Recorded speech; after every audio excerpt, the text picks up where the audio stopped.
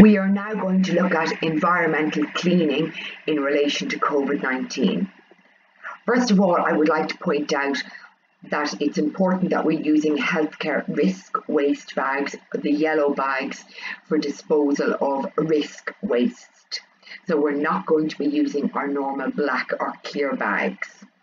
So as you can see there in the picture, these are the yellow healthcare risk waste bags we're talking about.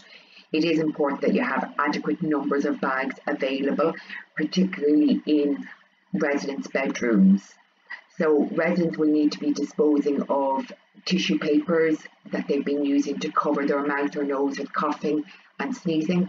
Therefore, those tissues need to be disposed of in a risk waste bag. Also, any cleaning um, cloths that have been used should be disposable and disposed of in risk waste bags. And obviously, our own personal protective equipment also needs to be disposed of in the healthcare risk waste bags. It's important that we do not overfill these bags, so about two thirds of the way up um, they need to be emptied. Don't have risk waste bags that are waiting collection to be left in areas um, where they're going to pose a risk of infection. So ideally keep them isolated in a designated area, um, whether that's going to be remaining in the resident's bedroom or if you have a designated area where you have an isolated unit um, to keep them there safely. When you are going to close the risk waste bag, it is recommended that you're using a swan's neck technique. So that means, as you can see here in the picture, that at the very top of the bag, that it is folded back down onto itself to create a swan's neck and it is cured with a barcoded cable tie.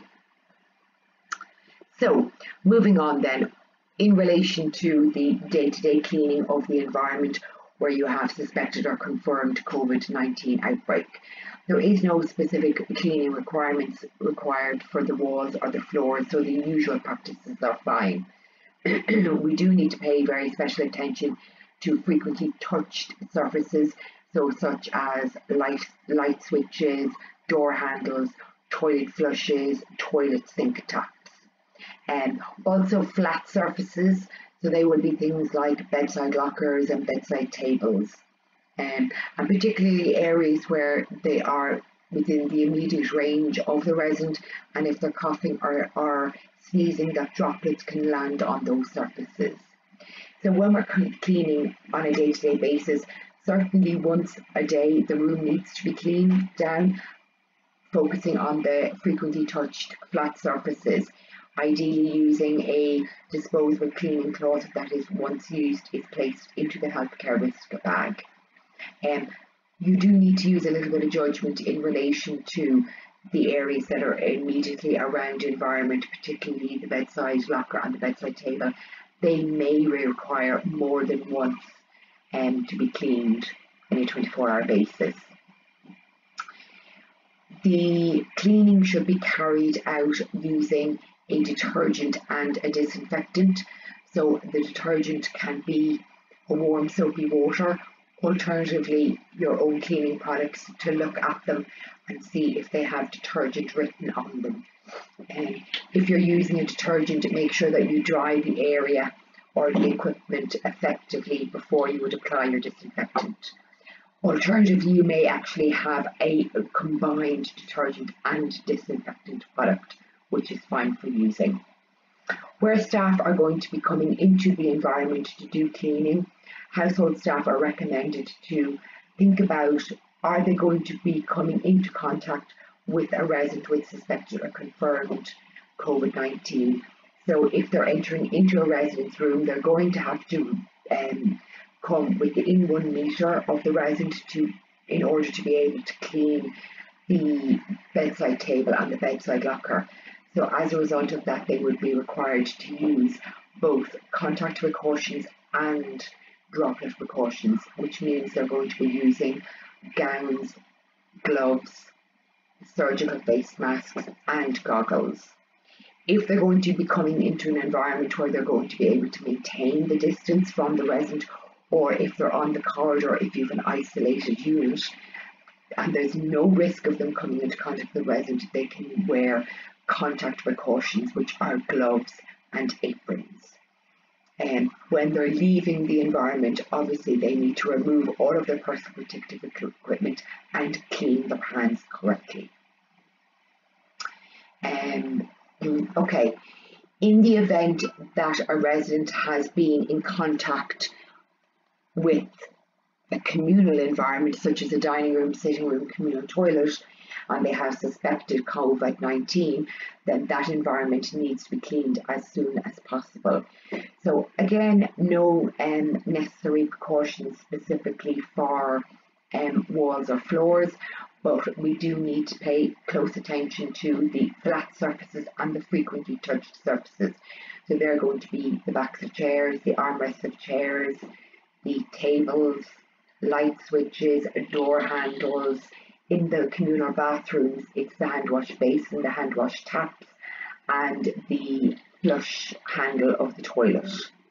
And um, again, we are using the detergent and disinfectant. And um, so we clean first with the detergent and then we use our disinfectant or if you have a combined detergent and disinfectant product, that's fine if there is a risk of coming into contact with the resident, um, then the droplet precautions need to be taken as well as the contact precautions. If there is no risk of coming into contact with residents suspected or confirmed of COVID-19, then it is the contact precautions, it is the um, aprons and gloves. Again, when all personal protective equipment is being removed, ensure that proper hand hygiene is carried out. Where we have a resident that would be leaving their environment permanently, so in situations where the resident is deceased or they are being transferred out of the nursing home. And in this situation, the room is going to require terminal cleaning. When we're carrying out terminal cleaning, the first thing we need to do is close the door to the bedroom and place a sign on the door indicating what time the room was vacated. We are aiming to leave at a minimum one hour. If we can leave it overnight, that would be perfect. But at a minimum one hour before anybody enters the room to provide cleaning. Um, and the reason for this is that that time frame will allow for any droplets that are in the air to settle down on surfaces. So when the room is being entered for cleaning, then we only need to take contact precautions. We don't need to apply the droplet precautions. So the person doesn't need to wear the goggles or the surgical face mask.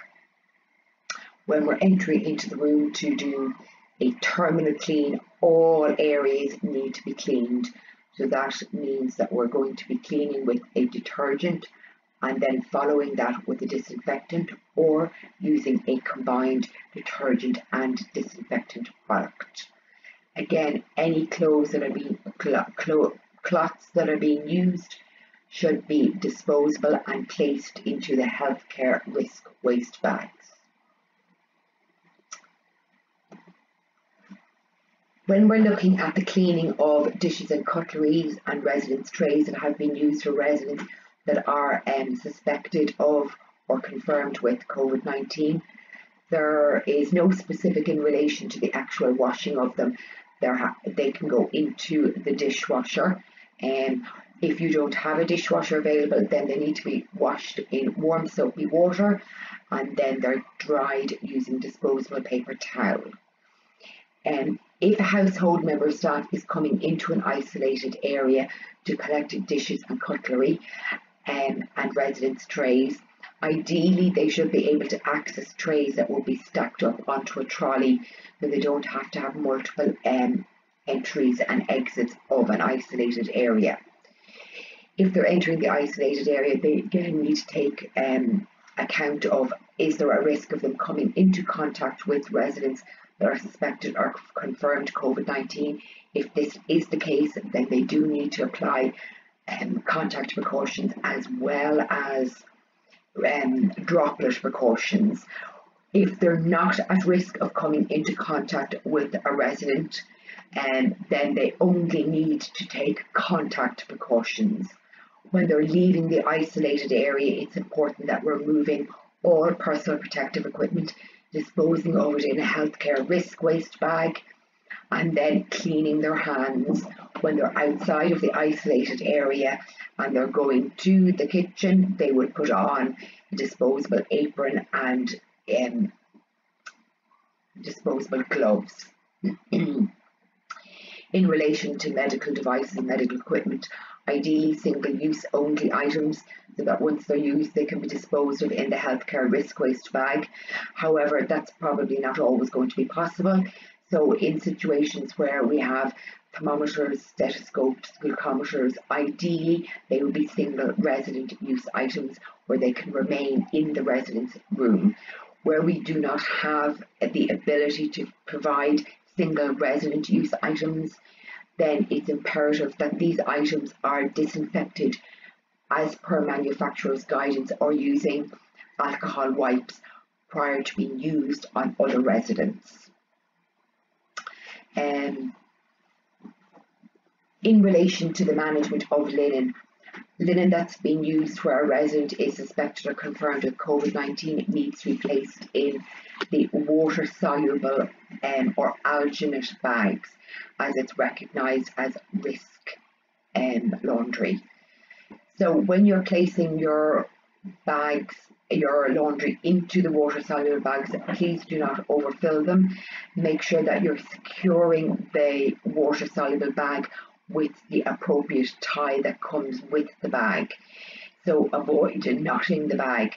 You will notice that in the lapel on the side of the bag there is you will find a white piece of string, a fine piece of thread, and that can be wrapped um, gently around the neck of the bag to secure it to it, so you don't actually have to knot the bag. And um, then it goes down to the laundry in your red canvas bags and obviously items in the water soluble bags are not removed prior to be putting putting them into the washing machine. When they're going into the washing machine they need to be washed at greater than 65 degrees for a minimum of 10 minutes.